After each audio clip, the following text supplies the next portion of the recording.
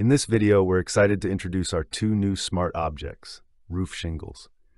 To apply these roof shingles, we'll start by creating roof planes from this box. This can be done by the Modify panel or by using our new AHelper plugin. Once the AHelper plugin is activated, you can select any object and modify base object's parameters like this.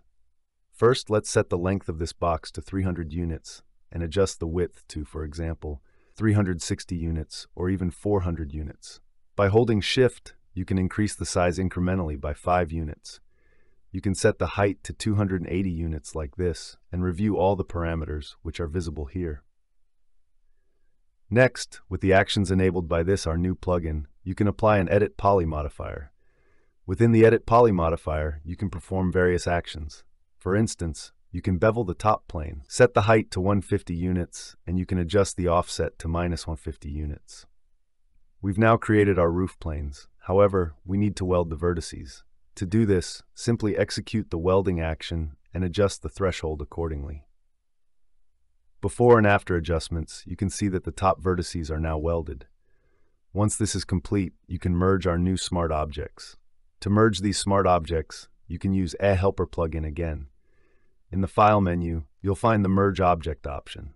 Here, you can merge the file, which is available for free download from the link in the video description.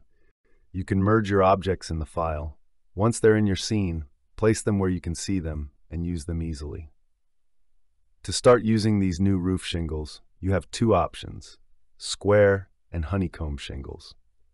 If the working plane of AHelper is obstructing your view, simply close it.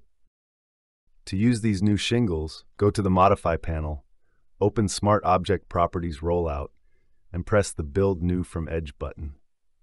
Next, you can begin selecting the roof hips and ridge, allowing you to build the corresponding shingles for these sections of your roof. Additionally, you can organize these objects into a new layer. For example, you can name this layer Roof 1 Hip Ridge. Once you're done, Close the plugin and proceed with applying the shingles to the roof's planes. Building these shingles requires only a few clicks. To organize these new shingles, use the plugin once again. Ensure everything is correctly selected and add the new shingles to the appropriate layer. As you can see, the new objects are now added to their corresponding layers. And if you want, you can turn off this layer and apply the second type of shingles for comparison. You can follow the same steps. Start with the ridge and hips of your roof by picking specific points. Of course, you can organize them into a new layer. Continue with the shingles, press the button, select your roof's planes, and in just a few clicks, your roof will be ready for rendering and use. Organize your new objects into a new layer and name this layer Roof 2 Shingles. By organizing, you can switch between the two types of shingles whenever you want. Once this is built, you no longer need the merged objects, and you can delete them. Now, for example, if you want to modify your roof and extend it in a particular direction, you can do that again by using the AHelper plugin. This time, go to Actions select Edit Poly, and use the Extrude command. Select the plane and extrude it by 400 units. Add another extrusion in the desired direction, and complete your operation. You now have your updated building, but you need to create a new roof for it. Start by target welding some of the vertices like this.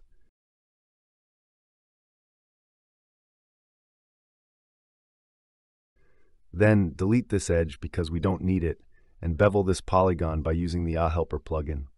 This time, enter values of 200 and 9 is 200 to achieve a 45 degree roof angle. Again, you need to weld some of these vertices and also use target weld to adjust them accordingly.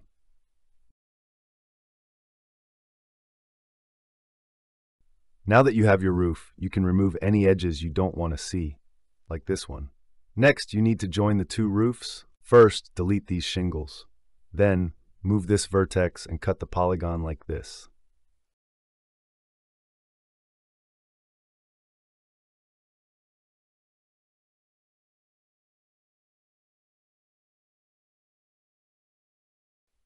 Now that we have all these vertices created, we can delete some of the polygons and use the target weld to complete the operation.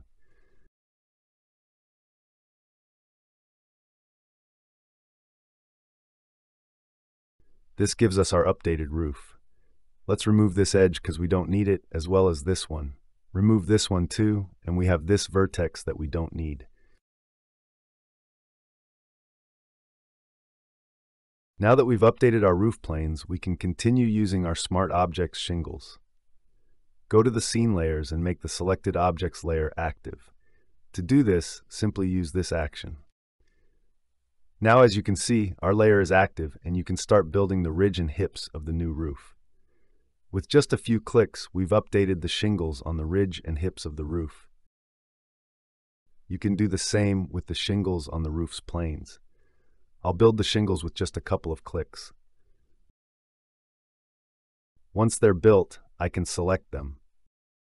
If you first select the initial object and then select all new ones. Using the AHelper plugin, you can add all selected objects to the layer of the first selected object. To do this, execute this section. Now if you turn the layer on and off, you can see that all our objects are in the correct layer. This is a quick overview of our new free smart objects and our new AHelper plugin. I hope you enjoyed watching this video. See you soon with new updates and additional smart objects from Aviz Studio Tools. Thank you for watching.